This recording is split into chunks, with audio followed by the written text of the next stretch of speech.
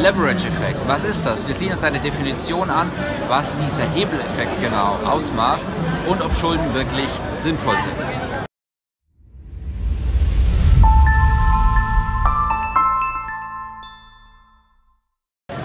Thorsten Wittmann, ich begrüße Sie heute aus Dublin und zwar hier während der, des St. Patrick's Feiertage hier. Es ist hier sehr, sehr viel Trubel und wir sind hier vor der weltbekannten Temple Bar, der bekanntesten Bar Irlands hier in Dublin. Da sieht man zum Schluss ein paar tolle Impressionen nach unserem heutigen Thema und Sie erfahren, wie Sie noch viel mehr solcher Tipps erhalten. Heute sehen wir uns an, was ist überhaupt der sogenannte Leverage-Effekt, was bedeutet dieser, eine genaue Definition und wie verhilft Ihnen dieser zu mehr finanzieller Freiheit oder auch nicht. Ja, der Leverage-Effekt ist auf Deutsch ein sogenannter Hebeleffekt. Das heißt, dass wir mehr Eigenkapital einsetzen, als wir eigentlich zur Verfügung haben. Ganz einfaches Beispiel ist Immobilienfinanzierung, wo wir eine Immobilie kaufen, wir beispielsweise 200.000 Euro, 20.000 Euro Eigenkapital und der Rest wird durch Kredite finanziert, was die üblichste Form ist der Hebelung. Und dadurch gibt es bestimmte Vor- und Nachteile.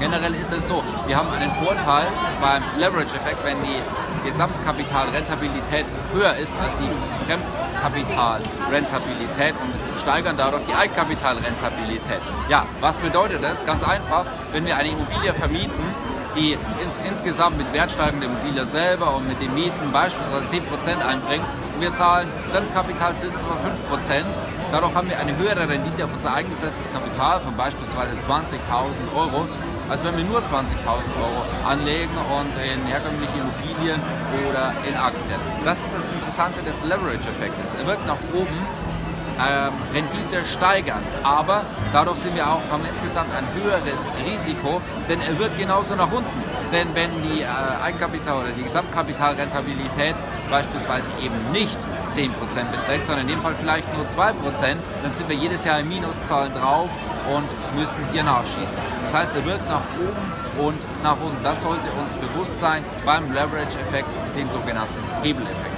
Im extra Video sehen wir uns dann nochmal an, genauer, wie es, ob es empfehlenswert ist, das bei Immobilien zu tun oder auch eben nicht und was Sie dabei unbedingt berücksichtigen sollten. Ja, schön, dass Sie heute wieder mit dabei waren. Ja, jetzt sehen wir uns ein paar tolle Impressionen an hier aus der Temple Bar in Dublin. Werde ich ein paar ähm, Bilder hier für Sie einfangen. Ist auch eine Möglichkeit, übrigens seinen Gemütszustand zu hebeln mit beispielsweise irischem Whisky. Das werde ich nicht machen, aber ich werde Ihnen ein paar Impressionen schicken. Schön, dass Sie heute wieder mit dabei waren. Ich lasse mir was Nächstes für Sie nächsten Freitag einfallen. Ja, liken Sie dieses Video, wenn es Ihnen gefallen hat. Ähm, geben Sie einen Daumen nach oben, abonnieren Sie den YouTube-Kanal. Wenn Sie noch nicht eingetragen sind, klicken Sie auf den Link unterhalb des Videos, damit Sie keine Episode von Faszination verpassen. Wir sehen uns nächsten Freitag wieder. Herzlich hier, Thorsten Wittmann.